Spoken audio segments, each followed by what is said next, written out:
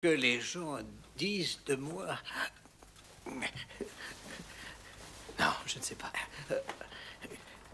Que je vais mourir uniquement pour éviter de payer mes têtes. et, et c'est vrai? Bien sûr que c'est vrai. L'ennui, c'est qu'on ne meurt qu'une fois. Pour vous, on va faire une exception. Vos docteurs ne savent pas de quoi ils parlent. Et vous rejouerez cette scène encore bien des fois, croyez-moi.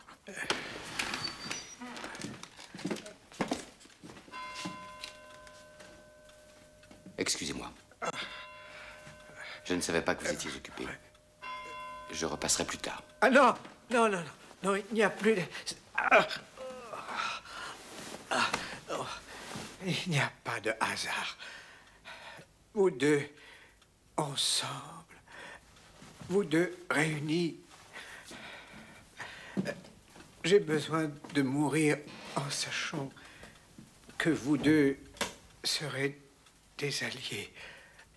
Sinon, le dernier espoir de sauver la monarchie va finir avec moi. Sans la couronne, tout ce que nous avons accompli va sombrer dans, dans, dans l'anarchie. Et vous le savez tous les deux.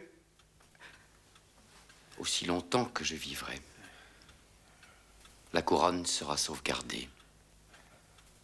Et le pays ne sombrera pas dans l'anarchie. Ça, je peux vous l'assurer. Parce que ce pauvre pays ne sera plus qu'une dictature militaire, dirigée par vous. Oui, c'est ce que vous visez. Et tout le monde le sait. Les aspirations de M. Danton sont bien connues. Je ne m'abaisserai même pas à discuter de cela. Monsieur Danton n'a qu'une ambition. Celle d'avoir un contrôle civil sur une monarchie constitutionnelle. Et en particulier sur les généraux ambitieux dont les visées dépassent leurs moyens. Par contrôle civil, vous voulez sans doute parler d'un gouvernement qui fermerait les yeux sur la corruption et les profiteurs de tout rang que vous aurez choisis pour l'exercer. Voyou Bien, profiteur de tout rang Messieurs Je ne vous ai pas demandé de venir ici pour que vous m'emmerdiez jusqu'à la mort avec vos arguments stupides.